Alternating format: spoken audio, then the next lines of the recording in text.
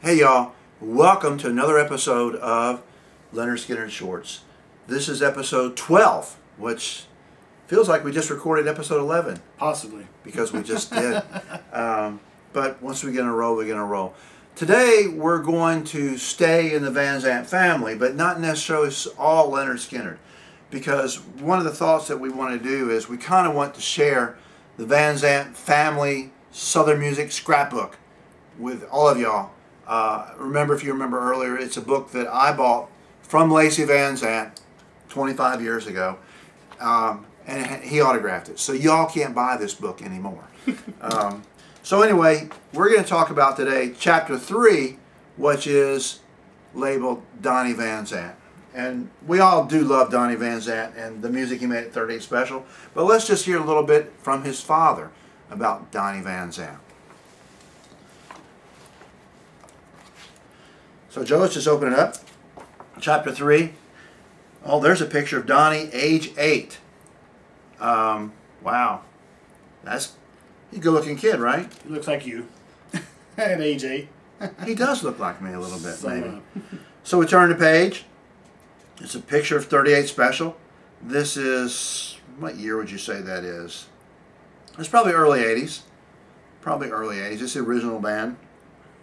Um, which Lacy says, you know, through pure determination, they've made their dreams come true. The next page, we have a picture of St. Luke's Medical Center, which is where Donnie was born June 11th, 1952.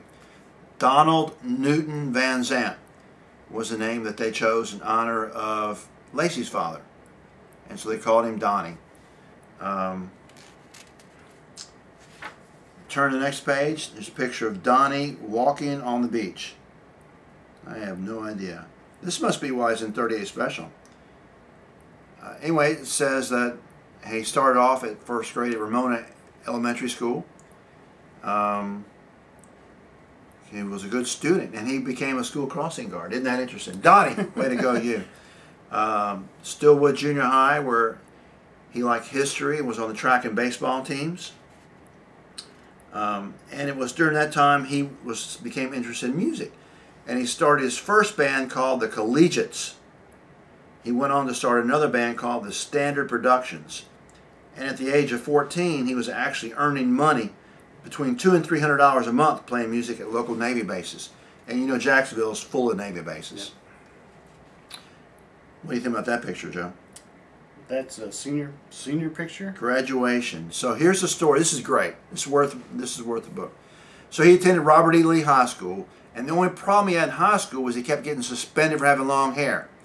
And that wasn't really a problem because he went out and bought a short hair wig and actually wore it to graduation, fooling everybody. That's a funny look. That's a picture of him with his short hair wig. now, is that not great? Ingenious. Oh my God. So anyway, the next picture is a page, a picture of Donnie in 1996, and it just says that he worked various jobs, you know, including uh, making eyeglasses for Bausch and Lomb, right? But every night he practiced with the band. And he moved out when he was 18. Here's a picture of Donnie and Larry Juns- Junstrom oh, promoting Big Joe's Beef Jerky in 1996. Never even heard of Big Joe's Beef Jerky. Um, he can still remember the first song Donnie wrote along with Jeff Carlisi and Don Barnes. He called it Country Man and wrote the words on a paper bag that he carried his lunch in. Far away from Ronnie's memory bank. Well, here's a cool picture. The next page. Ronnie and Donnie, 1975. Um, wow. That's a, that's a very cool That's a picture. good one. Ronnie and Donnie. Um, so the next page is a picture of Donnie with Ronnie's daughter Melody. So prior to 38, Donnie played in so many bands that would break up. He wondered should he stay in music, but he loved it, and he needed a, but he needed a secure, a steady job. Um, he'd been offered jobs with railroad companies, but with Lynyrd Skynyrd touring, uh, Donnie came to Ronnie and, and Lacy asked for advice. And they said, hang in there. Don't stop trying to reach your goal. And here's a picture of 38 Special at a filled Busch Stadium in St. Louis. Well, Really? 38 Special filled up Busch Stadium? That's kind of cool. Um, anyway, he just talks about when 38 Special did get together, they made a demo tape, and Ronnie gave it to Peter Rudge, who was their manager.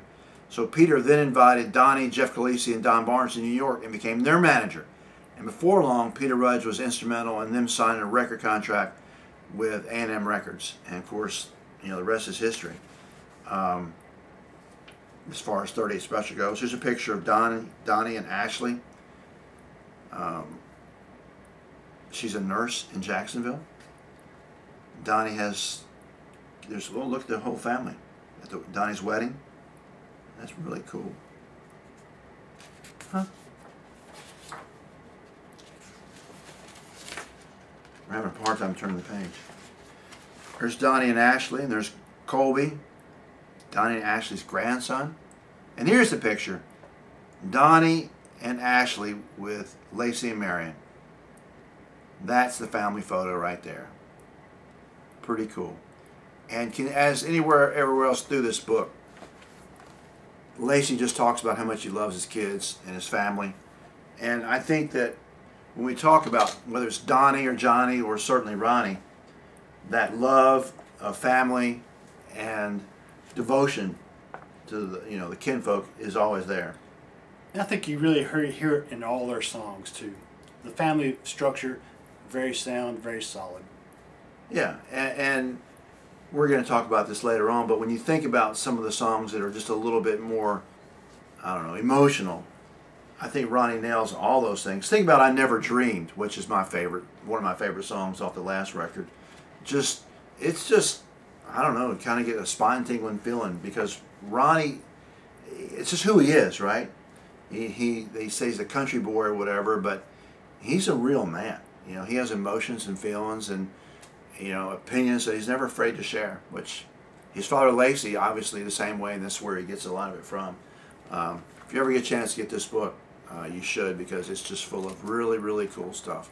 The Lacy Van Zant book. Uh, anything else to talk about, Joe? I think so. Other than we love Donnie Van Zant. We love Donnie. You, you may know Donnie has some hearing issues, and he doesn't tour with 38 Special anymore. Even though Don Barnes and the boys, they're still out touring very religiously.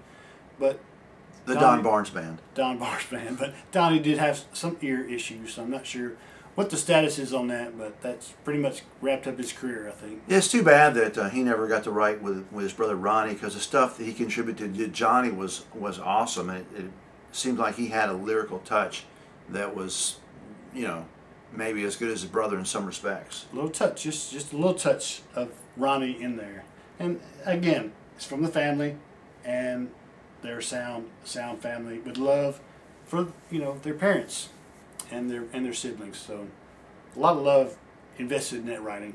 Yeah, and that's what's that's one of the things that attract us all to Lynyrd Skynyrd is just that how they make it feel so personal for everything. So anyway, Joe, good job, Donnie Van Zant. it's a quick one. Yeah, it's pretty cool though. Till next time, y'all be cool.